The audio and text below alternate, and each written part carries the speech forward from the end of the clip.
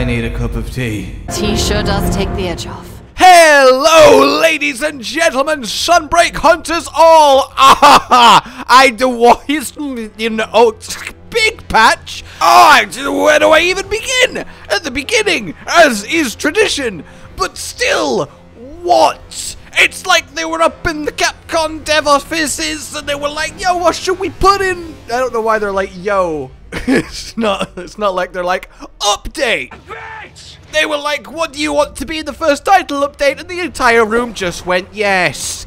Ah, so, as I uh, comfortably predicted, uh, along with, you know, most of the people, because they make a lot of sense, we are indeed getting the Metal Raths to round out our new monster roster to four for this update, which is just awesome.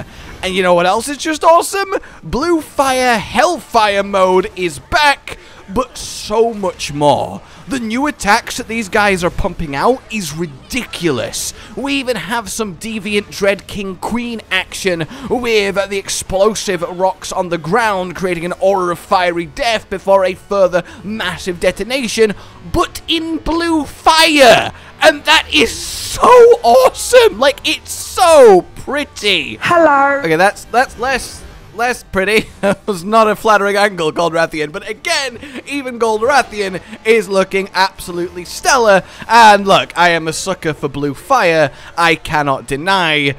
Wow. Get a little bit more Lucent Nargacuga action, and he is also sporting some ridiculous attacks. Multi-layered rain of poison death quills. I mean, okay, that's that's fine, that'll do. And he is so fast. The combos, the pain, you can just feel it. Seething Bazel also looks like he is really bringing the heat, as it were, and indeed has his nuclear drop, which is just wonderful. So that's our four monsters, but God, that is the tip of the iceberg. Event quests are back from August 18th, which is so exciting. Honestly, I have missed covering them every week for you guys, so you can be sure that will be happening once again, and that's really, really cool. But there's not just event quests, right? There is also some special event quests that we're getting that are like extra event quests. These are known as dual threats, and basically it's a special hard event quest where you fight two significant monsters together and try your best to conquer it. All for layered armor and rewards and goodness, and that's really sweet. It seems they've really taken on board that the event quests were maybe a bit lackluster, at least to start with, in Base Rise, and basically now we're paying for having that opinion. We're going to pay dearly for it. Oh, moving on then, because still so much there is to show. A little bit of extra paid DLC, some fun new items for you to grab, which is always fine. Look, it's good to see a few extra little cosmetic options that are optional, especially in the middle of getting so much content for free. And I do mean so much. Anomaly quests, anomaly monsters, the flagships are getting their afflicted states, and oh, we're gonna be in an afflicted state after combating them. Astalos in particular looks absolutely terrifying. But this all builds to, how should I put this? Guild quests are back! Least in the form of anomaly investigations, where you can hunt an anomaly monster and raise the level of its quest, which makes it more and more difficult, but gives you better and better rewards to feed into the new crafting system, but at the same time, the uh, actual conditions for the quest, the map, the players, etc. is random. So yes, very guild questy, very painful, and most importantly, very, very hype. I oh what I mean what what do we even such a massive new like this so, like it's a whole new end game and I can't I just I can't deal.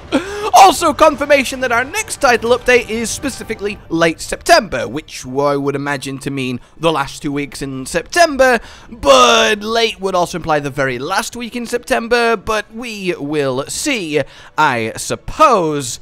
But firstly, Okay, let's continue because we're still not quite done. We got ourselves a little bit more details on how exactly the anomaly quest will work. We'll get a new round anomaly quest, which is all of the flagship level monsters, but then, of course, the research system as you keep powering them up, and that's really cool to see. And then a proper little look in game at Qurio crafting, the ability to upgrade weapons in a more fixed, controllable manner using materials from the research quests and then armor, which is a little bit more random, rolling the dice and hoping you get something very nice. The question is, can we get proper offensive skills on the armor, or is it going to be limited to more utility skills, which I would prefer, because otherwise set building is going to be a delicious nightmare. Oh, that is very good to see though, and Qurio crafting is going to be absolutely amazing. Then, finally, we have Bahari's little research lab that he is opening, which lets us trade the special materials from Anomaly Monsters for goodies. The resource that powers the crafting, yes, but also stuff like MP accelerants and puddings, so they are getting even easier to get a hold of, and that's really, really excellent. So, yeah! That's a lot. It is a lot. There's so much, and it's all happening, and there's so much to talk about. Oh, and it's coming out tomorrow, the 10th. Like, almost right now. So, you know, no real time to let it sink in, because we're about to be hunting it and playing it. That's cool. Yeah. Oh my god. Oh, this is how you do an update, and I, for one, am absolutely over the moon now then, let me know what you guys are most excited for and about. And yeah, I'll see you very soon with more and more on this glorious update of everything you need to know and, of course, the pro and noob goodliness. For now then, and indeed until next time, consider supporting the future of this channel on Patreon down below. Like if you've enjoyed this, subscribe for more, and oh, Let's all just go and try and contain ourselves. My word. Ah! Anyway, a goodbye.